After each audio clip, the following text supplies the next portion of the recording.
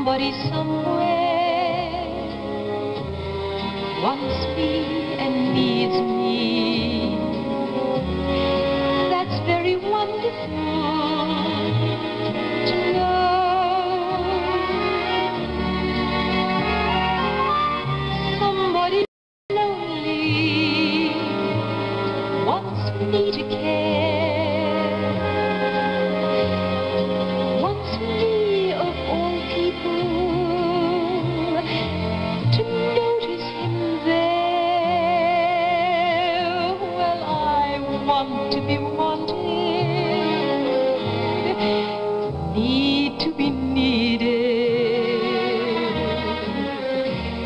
And I